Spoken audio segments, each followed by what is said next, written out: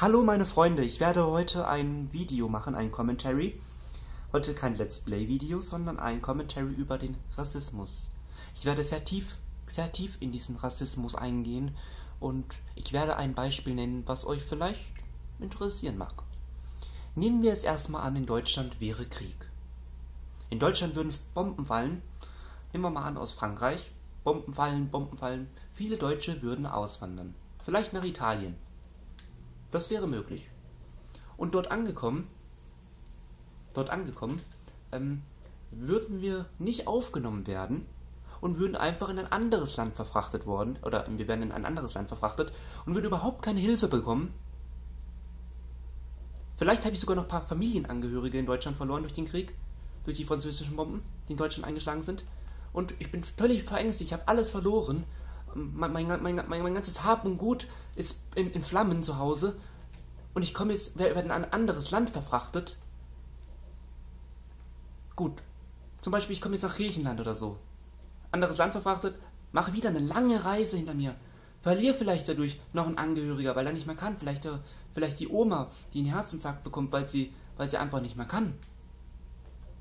Und dann, dann, dann, dann frage ich mich schon, das ist doch heute auch so wenn jetzt Leute nach, äh, zum Beispiel aus Somalia kommen, hier nach Deutschland kommen oder jetzt zum Beispiel nach Italien, die bekommen kaum richtige Hilfe, keine Chancen, weil, meine Freunde, natürlich sind diese Menschen in Somalia arm.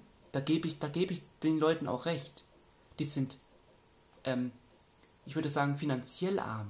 Aber menschlich, meine Freunde, menschlich sind diese Leute reich. Und viele Deutsche sind ja auch nicht reich, sondern arm. Ich weiß, ihr, könnt mir jetzt nicht folgen, oder?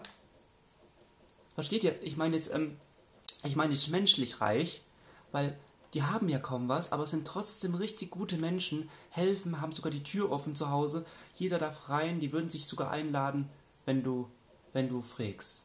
Wenn du Hunger hast, dann kommt einer zu dir hin, in den Ländern, und dann, dann kriegst du da wirklich was zu essen. Das ist sehr nett von denen. Und ich finde das furchtbar, wie das ja heute abläuft. Ähm, wie Leute aus Somalia, aus, aus Syrien über, über das Meer fliehen müssen, zum Beispiel aus Afrika, über den Kongo, da überall, wo Krieg ist, wo Christen ja auch verfolgt werden, weil der Islam durchgesetzt werden will, weil, weil die unbedingt eine Religion haben wollen und die Leute kommen jetzt übers Mittelmeer, sterben dabei. Und warum helfen wir diesen Leuten nicht, meine Freunde? Äh, das verstehe ich bis heute nicht, weil das sind Menschen wie du und ich, aus Fleisch und Blut, die halt, die haben kein Geld. Gut, da frage ich mich, jetzt, jetzt darf ich euch mal eine Frage stellen.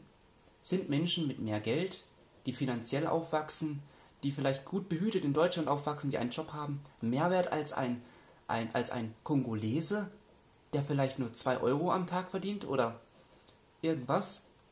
Das sind Kriegsflüchtlinge, meine Freunde. Leute, die keine Chance haben, weil ein Machthaber, zum Beispiel dieser Assad hier, das eigene Land bombardiert mit Waffen. Brutal und ungerecht. Und wir wollen sie nicht aufnehmen. Wir müssen diese, wir müssen, wir müssen, wir müssen etwas machen dagegen. Wir müssen finanzielle Hilfen für diese Leute machen. Wir müssen die integrieren, richtig integrieren, ihnen einen Job sofort anbieten, eine vernünftige Wohnung, weil in Deutschland kann das auch passieren, weil in Deutschland kann auch irgendwann mal ein Krieg kommen und dann wären wir froh, wenn andere Länder uns auch helfen würden. Ja, das ist das Rassismus-Commentary und ich sage es auch ganz ehrlich, gib Rassismus doch keine Chance weil das bringt nichts. So, ich hoffe, das hat euch gefallen und ich werde das nächste Video morgen machen, vielleicht. Dann vielleicht ein Let's Play mal wieder und ich hoffe, es hat euch gefallen. Bis zum nächsten Mal, Leute. Ich sag ciao. Euer YouTube Gamescom.